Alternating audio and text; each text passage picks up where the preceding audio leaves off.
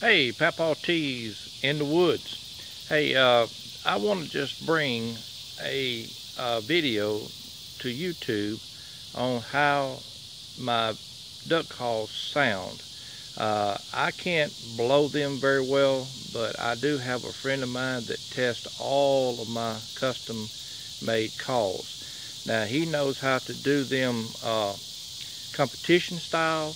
He knows how to blow them from the blind. Uh, uh he's used them uh, in 30 degree, 30 degree weather. And you know they don't the reeds don't stick. And uh, he also tested them for quality. Uh, he tested them for the sound. He knows how to get them uh, loud. He knows how to get them really low and you know really sassy and raspy so uh, you know he's uh, he's really good at it so I usually let him blow all of my calls before I send them out you know, I enjoy making uh, custom-made duck calls. Uh, I've been doing it for over a year now, and uh, you know, I've uh, went through a lot of uh, trials and errors. Uh, I made some videos on how I make them from start to finish. I started making my inserts to go into the duck calls. So, you know, I've come a long ways. I have a little passion for duck calls. Uh, I don't mass produce them. I make every one by hand. You know, I started pouring all of my uh, acrylic and mixing my colors. Uh, I tried to, you know, spend quality time in perfecting them to make them sound really good and make them very attractive.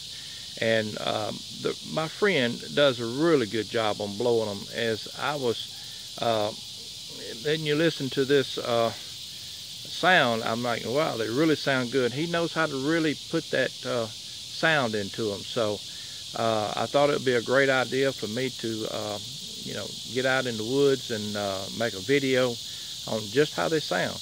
So I hope everyone enjoys uh, listening to to uh, the duck calls that I make. I do. I kind of take some pride into that. So, you know, I really appreciate him doing that for me. Uh, again, if you like my videos, hey, give me a thumbs up and subscribe because there's going to be a lot of more videos that I do. I don't take, I don't make a lot of them, but I do make them when I got something interesting and when I'm making uh, some pretty colors and I want, you know, the uh, YouTube viewers to be able to see what I'm making. So again, I make a lot of pins and bottle stoppers and duck calls. You know, you can email me at crazywoodworks at yahoo.com and you know, if you're interested in anything that I, that you see that I make, you know, email me and we can talk about it. And, uh, you know, I can give you a price or you can tell me what colors you want and I'll be more than happy to send you one. And uh, again, you know, I appreciate all uh, that the viewers that uh, comment. Uh, you know, you can send me uh, tips. I welcome tips. And if I have any tips for you, I'll be more than happy to email you, you know, on what I know. So it's all a hobby to me and I enjoy making them. Uh, I enjoy hearing them uh, sound as good as they do. So again, thumbs up, subscribe, and I appreciate you watching Papaw T's custom calls. Uh, I take joy in making uh, my duck calls. So again, hey, watch me on YouTube.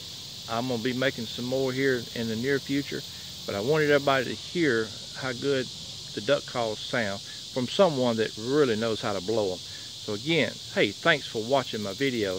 Papaw T's in the woods. Appreciate it.